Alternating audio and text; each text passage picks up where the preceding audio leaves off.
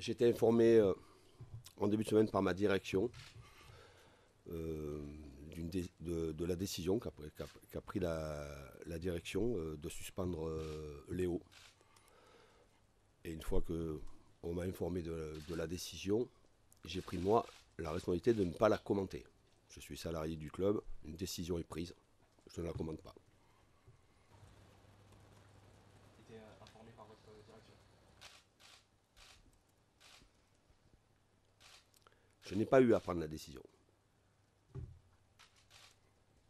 Je n'ai pas eu à prendre la, la décision. J'ai été informé de la décision et je me plie à la décision qui a été prise.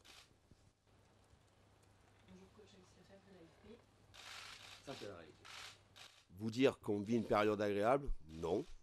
Ça, ça je vous, ça, je vous l'accorde. Mais euh, il y a un objectif à atteindre. Les joueurs travaillent.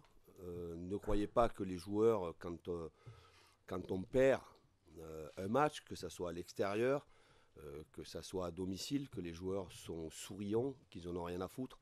Non. J'ai vu la réaction de mon groupe après la défaite de Lorient.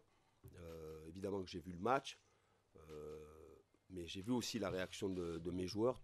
déjà en début de semaine et tout au long de la semaine, on est tous concentrés et tous concernés euh, et on est aussi dans une juste analyse que c'est pas suffisant, que c'est pas suffisant, mais qu'il y a un titre à aller chercher. Nous avons encore des points d'avance. ou quelqu'un d'autre. Je dis qu'il faut toujours faire très attention à cela et que la vie privée doit rester la vie privée. Je peux comprendre la colère, la déception de nos supporters. Je peux la comprendre. Je peux comprendre qu'on puisse venir manifester ici, sur notre lieu de travail. Je peux comprendre qu'on puisse venir manifester devant les bureaux de, la factory du Paris Saint-Germain.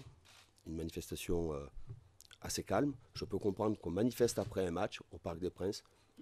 Je, je n'accepte pas qu'on puisse aller euh, au domicile de qui que ce soit, que ça soit Neymar ou quelqu'un d'autre.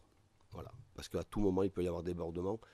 Et Dieu sait que des débordements, on en voit beaucoup en ce moment dans l'actualité.